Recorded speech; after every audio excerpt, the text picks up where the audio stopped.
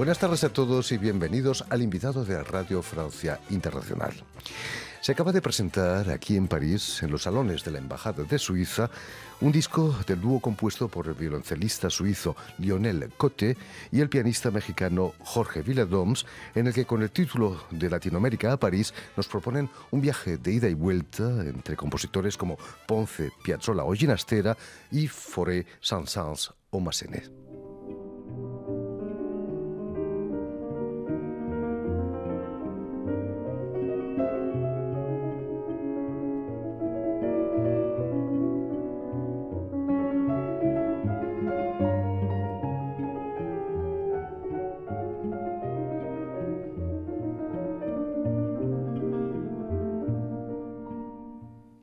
Y para hablarnos eh, de esta presentación aquí en París y de su brillante trayectoria como pianista, Jorge Villadoms ha sido tan amable de, venir a nuestros estudios. Muchísimas gracias por la invitación, estoy muy contento de estar aquí. No, es un placer para nosotros tenerte aquí en París.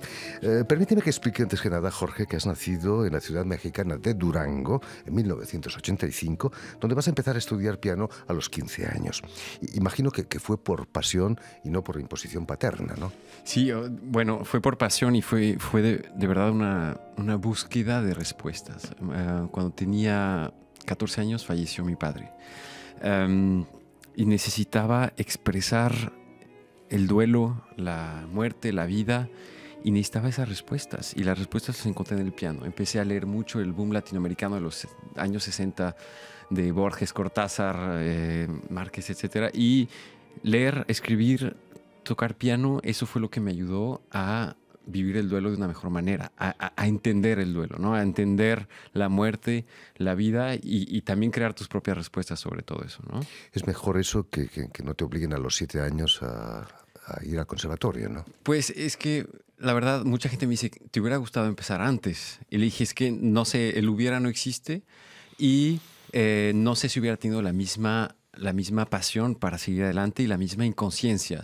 Lo que me ayudó mucho porque tomé tres años de clases privadas en México y solo sabía cuatro piezas del repertorio clásico en tres años. ¿Cuáles, por ejemplo? Eh, eh, dos preludios de Chopin, los fáciles, eh, y destruía un preludio de Rachmaninoff, el Do 10 menor, y un Mendelssohn. Este, entonces, y, y, quería hacer un año sabático, dos años sabáticos como niñero en París, justamente, y en Múnich, porque mis dos hermanos más grandes lo habían hecho. Entonces dije, sigo sus pasos, voy a aprender francés-alemán y regreso a México, que tenía una beca en una universidad muy buena, en la UDLA, en Puebla, eh, una beca completa para estudiar ingeniería química. Porque mi padre antes de morir me dijo, el ambiente es el futuro. Y yo que admiraba tanto a mi padre, que era una persona extraordinaria, era un cirujano, gastroenterólogo con una, una, un gran entusiasmo y muchas cualidades, entonces me quedé con esa idea no me dieron la visa para venir a París. Y eso cambió todo, todo. Entonces me fui a vender helados a Ginebra, porque mi hermano estaba estudiando en Ginebra durante el verano a ganar dinero, a vender helados. Aprendí francés vendiendo helados. Entonces una de mis primeras palabras que aprendí es abricot, etc. Y, y, y, los azares del destino hicieron que, conociera a un chelista del Conservatorio de Lausanne, que me llevó a conocer este conservatorio que es hermosísimo.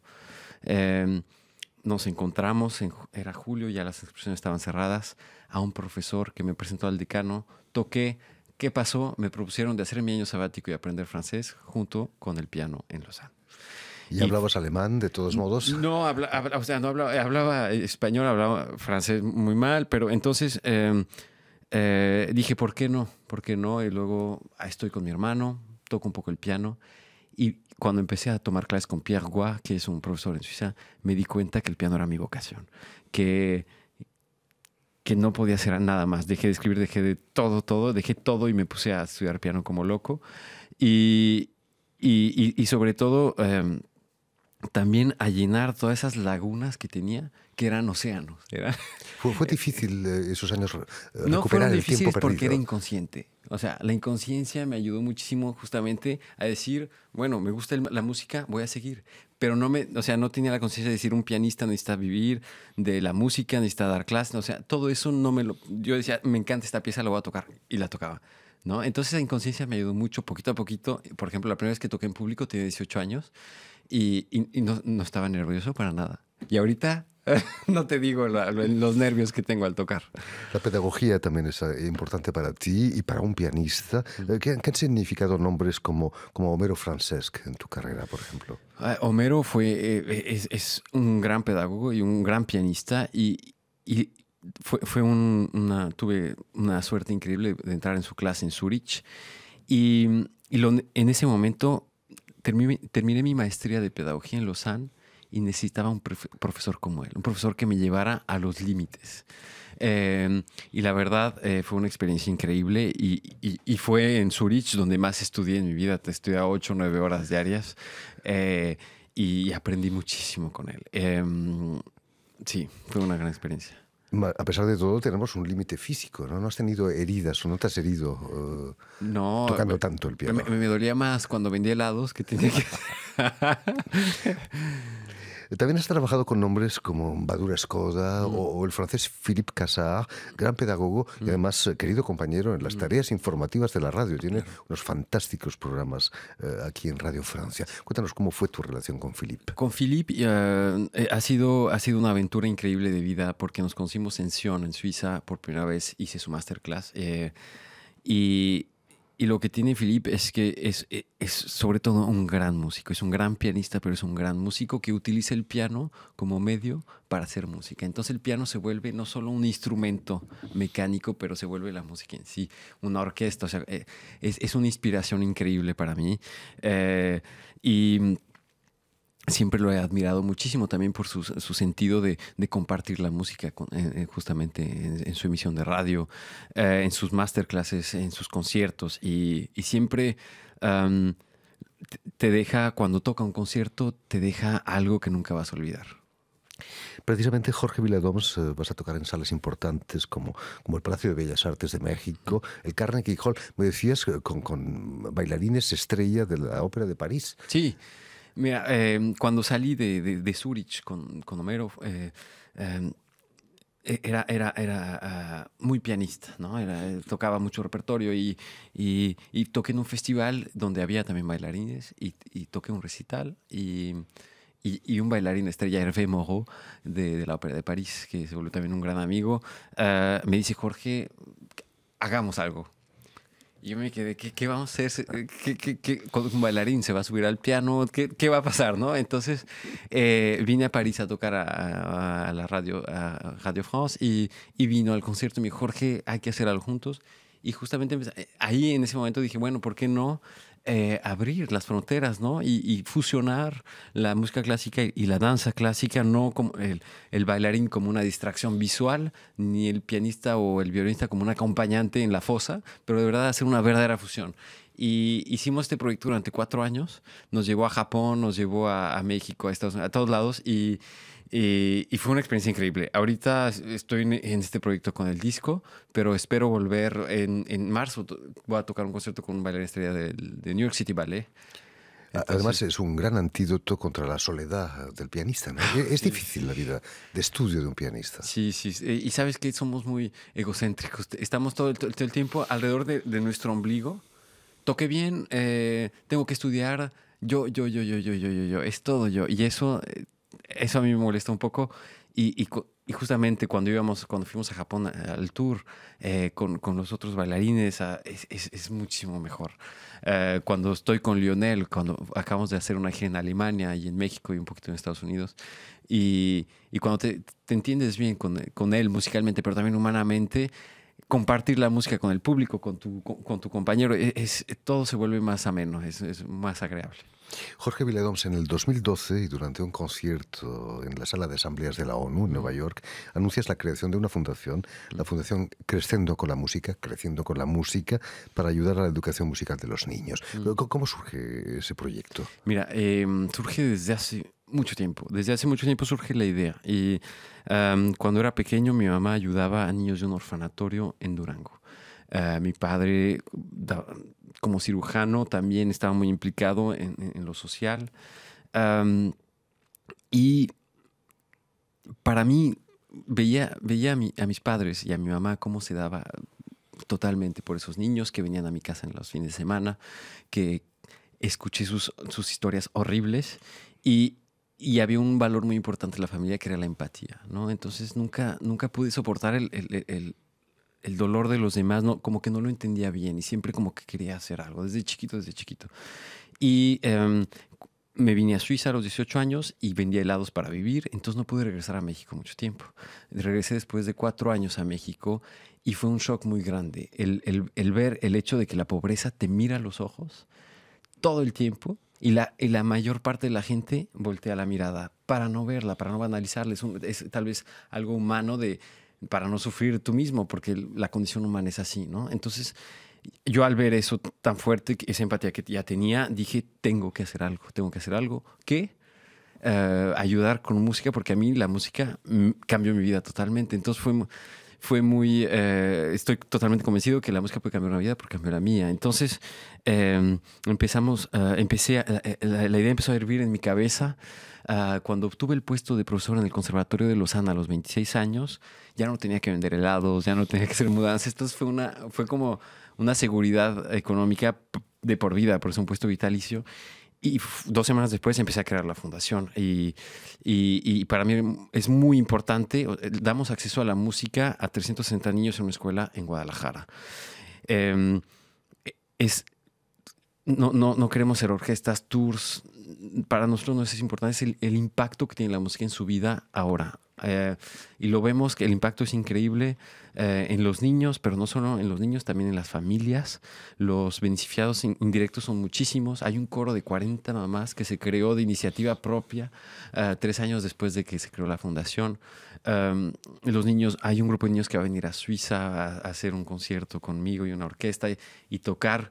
Y van a cantar, el coro va a cantar con con niños del colegio más caro del mundo. Entonces, la, la, la, música como rompe fronteras, ¿no? Las fronteras sociales que son tan fuertes en México son invisibles, pero esas fronteras sociales, eh, esas barreras sociales solo se pueden pasar de un lado al otro con el arte, con la educación, con la música. Por este programa han pasado directores de la orquesta como Gustavo Dudamel o Manuel López. Mm. Son fruto del, del, sistema de orquestas juveniles e infantiles de Venezuela. Me decías que, que, no es esto lo que tú quieres hacer en México, ¿no? Eh, es, es, es, son proyectos que admiro muchísimo, pero para mí el futuro de la música clásica está en la formación, está en la, en la escuela pública. Um, en, en, ahorita todas las personas, muchas personas que nos escuchan, la gente que está aquí atrás, tú, yo, todos estudiamos matemáticas en la escuela, pero no somos matemáticos. Pero, pero, las matemáticas nos ayudaron a, reflexionar, a resolver problemas. La música hace eso y más, ¿no? De una manera social, eh, de, sentimientos, de conectar el alma, los dos hemisferios, es tocar eh, cosas muy prácticas y pero con el alma, ¿no? Expresar. Y todo eso un niño lo necesita. Y para mí el futuro de la música está ahí. Entonces, todos los niños tienen clases de iniciación musical en mi fundación. Jacques Dalcroze, tienen coro, tienen instrumentos, los que deciden hacer un instrumento. Uh, les mandamos más de 100 instrumentos de Suiza, siete pianos, 31 violines, chelos, los mandamos a México. Eh, en, en, Suiza estamos dando becas a jóvenes músicos que ya están en la música, entonces le estamos dando becas. Y en Kenia tenemos el proyecto de, de construir un centro cultural al lado de un, de un, de un gran basurero de, sus, de los slums de, de Kenia. Entonces es, es, verdaderamente usar la música eh, de, todas las maneras y compartirla, pero no, no creo que, no sé, para mí crear músicos no es, el, no es la solución, porque necesitamos la audiencia del mañana no son los músicos, son los amateurs, es la gente que estudió pequeños, es la gente que aprecia la música. El público. El público, necesitamos el público del, del futuro, ¿no? Jorge Viladoms, volviendo al disco claro. que acaba de publicar el sello Sony, gran sello Sony, Sony Classical, junto al violoncelista suizo Lionel Cote, aunque existe un océano entre ambos continentes, mm. en el terreno musical la distancia es muy corta, ¿no? Sí, sí. Eh, Leonel y yo nos conocimos hace dos... Eh, nos conocimos en Zurich, cuando estábamos estudiando, pero muy brevemente, y luego él estaba tocando en la Orquesta de Lausanne y, y, y, y, volvimos a conectar, dijimos hay que hacer un proyecto juntos, fuimos a tocar a México y descubrió él a Ponce, a nuestro compositor, nuestro gran compositor Ponce, nos dimos cuenta que en Latinoamérica había muchos compositores como Villalobos, como Piazzolla, como Ginastera, que viajaron a París y se inspiraron de la, de la ciudad de las luces que en ese momento brillaba en todo el mundo y regresaron a sus países respectivos y se inspiraron de, de, de, esa, de esa estética musical, pero vistieron melodías populares con esa estética que ellos aprendieron. Entonces Villalobos, que viajó en todo Brasil para, para inspirarse también de las melodías populares, pero se oye ese, esa inspiración, esa influencia de, de, París, ¿no? También Ponce, Piazzolla vino a París, entonces dijimos, hay una, hay una conexión, o sea, como, como dices, el océano se, se, vuelve muy pequeño y hay una conexión musical y, y, con los compositores franceses como Debussy, con su sonata, que es increíble, muy avantgardista, que fue compuesta a, creo que algunos años de diferencia con la sonata de Ponce. Entonces ves la diferencia en que en los mismos años, como, y, nos gustó mucho el paralelo, ¿no? Hacer el paralelo de, de, lo que se hizo en Latinoamérica y a principios de siglo, ¿no? Hay que ser muy audaz de poner la elegía de Fauré al lado del Oblivion de, de Piazzolla, ¿no? Eh, y fíjate que ayer en el concierto, por ejemplo, eh, hacemos algo muy, muy interesante, es que tocamos, está tienen la misma tonalidad, do menor.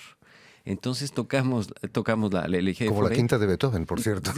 y eh, pues las dos, las dos obras hablan de la muerte, ¿no? O sea, la elegía es un canto hacia la muerte y, cómo se ve la, Es muy interesante ver que de qué manera ve un europeo la muerte tan dramática, ¿no? Tan muy dramática, con mucha oscuridad. en medio celeste, la luz celeste. Y de qué manera vemos los, latinoamericanos la muerte, ¿no? Como en México el 2 de noviembre, que les celebramos mucho la muerte. Entonces, eh, eh, Oblivion también, que habla de, de ir a, la nada, ¿no? A, a ese Oblivion pero que Piazzolla nos lleva a la nada bailando tango, ¿no? Entonces eso es, es muy bonito hacer esa, esa como comparación y justamente dejamos el acorde y, y, empezamos luego, luego la otra pieza. No hay que olvidar que París es la segunda capital del tango con, permiso de Buenos Aires. Ah, sí, claro, sí, sí. No, entonces tuvo mucho sentido ayer tocar las dos piezas, estuvo muy increíble. En fin, pues muchísimas gracias Jorge Viladons por haber estado aquí con nosotros. Permíteme también dar las gracias a Elena Abril y a todo el equipo que ha hecho posible la realización de este programa y enviar sobre todo un cordial saludo a nuestros telespectadores que nos siguen en toda América Latina gracias a la cadena Canal U de Montevideo. Y a ustedes, eh, gracias por su atención y les damos cita para una nueva edición del invitado de Radio Francia Internacional. Y nos vamos con las notas de este disco de, Jorge Villadons.